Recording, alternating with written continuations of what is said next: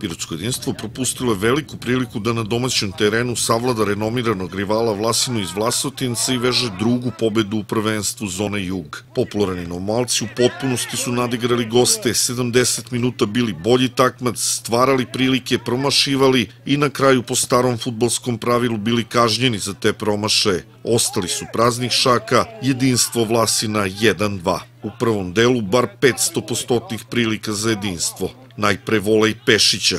Posle toga udarac Petkovića bravurozno brani golman Vlasine Stojanović.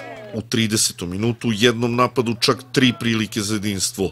Luka Filipović, Krstić, Pešić nisu uspeli da sprovedu loptu u mrežu. U 35. minutu kontra 3 na 1, međutim i ta prilika odlazi u nepovrat. Gosti su uglavnom pokušavali preko kontra napada. Na početku drugog dela ista slika na terenu. Pešić je u 49. minutu kao brzi voz protutnjao levom stranom u poslu Jovanovića, a ovaj promašio prazan gol. Igrač utakmice Branislav Pešić bio je nerešiva enigma za odbranu gostiju. Sa nekoliko solo prodora oduševio je sve prisutne gledaoce. U 57. minutu oborenju u 16 tercu, ali penala nije bilo.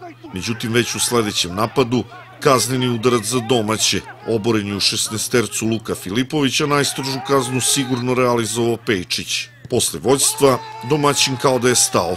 Gosti preuzimaju inicijativu, i već u 61. minutu stižu do izjednačenja. Posle slobodnog udarca Stanković je sproveo loptu glavom u mrežu. Nekoliko minuta kasnije Kostić pogađa stativu. Jedinstvo uzvraća preko Manića i Mančića, a onda u zaustavnom vremenu stiže surova kazna za sve promašaje. Đokić postiže prelep gol za pobedu Vlasine 2-1. U narednom kolu Pirotsko jedinstvo gostuju Bojniku gde se sastaje sa ekipom Puste reke.